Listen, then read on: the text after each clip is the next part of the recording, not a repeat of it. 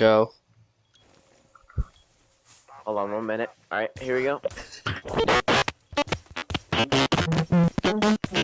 go.